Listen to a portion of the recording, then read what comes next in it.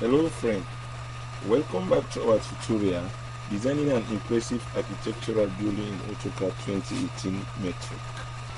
If you have been following along, go and open the file 00 underscore 013 underscore DIABM where you save it. Go to the quick access tool and click the save as button. This will bring the save drawing as dialog box.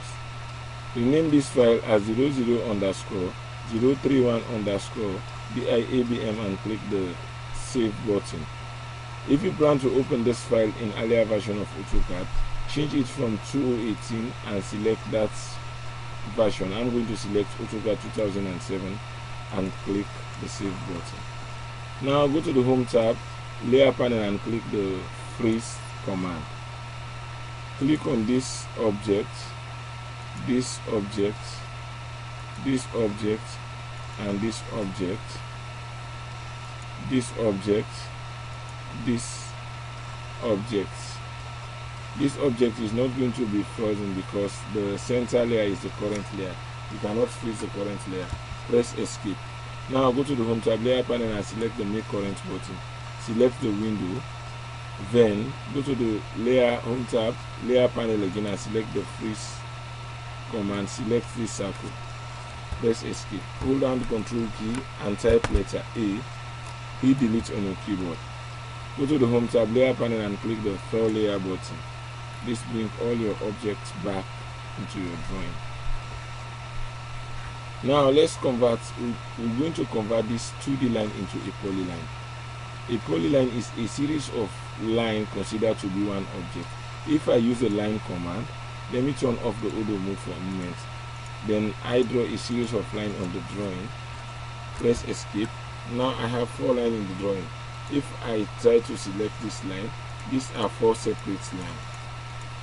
Hit delete on your keyboard.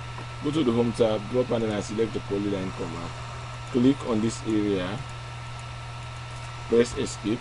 Now if I try to select any one of my four lines all of the lines are selected because they are connected together this is the difference between the the normal line and the polyline the polyline have so many options that the normal line don't have. Hit delete to delete this object go to this area and hit delete to delete this object. Now go to the home tab modify panel and click the down arrow. Select the edit command. At the select object prompt select this object. The AutoCAD knows that the object you select is not a polyline so it gives you a prompt if you want to turn it to one. Press enter to accept and select the joint option. Use a window selection. Now press enter. Press escape. Try to select this object. The object is now a polyline. Press enter to repeat the PEDIT command again. Select any of this line and press enter. Select the joint command. Use a window selection and select all of these objects press enter. Press escape AutoCAD convert this object into a polyline. The other method to convert a object into polyline, type the joint command on your keyboard and press enter. At the select object prompt, select this object, use a window selection to select this object, press enter. AutoCAD convert this object into a polyline. Press enter to repeat the join command again.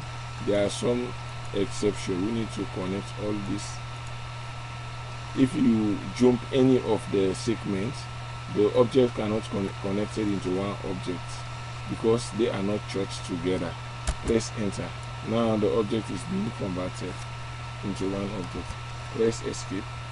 So this if you want to turn this 2d wall into a 3d wall all you need to do just extrude the object or press pull it into the z direction. All right i'm going to convert all these objects into polyline in the background in the next tutorial i will start to model in three dimensions if you find this tutorial useful please click the like button and share it to your friends if you have any question or you want a specific tutorial please leave a comment below. If you want to continue this series or any other tutorial on my channel please subscribe. Thanks very much for watching. I hope to see you in the next class. Good